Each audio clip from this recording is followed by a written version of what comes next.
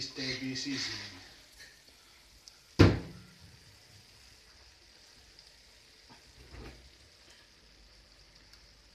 En tiedä kuinka hyvin kuuluu.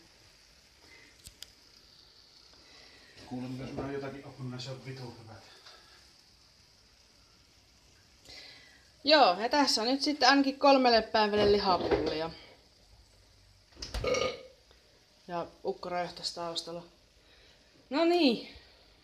No mutta ei kai tänäänkään sen kummempaa. Tota. En.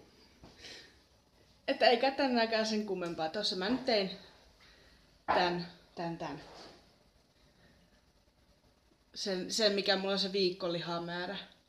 Onko se nyt on se alle 400 grammaa, mutta kuitenkin. Niin mä tein ne lihapulla muotoon. Okei, no eipä tässä muuta. Katsellaanpa taas.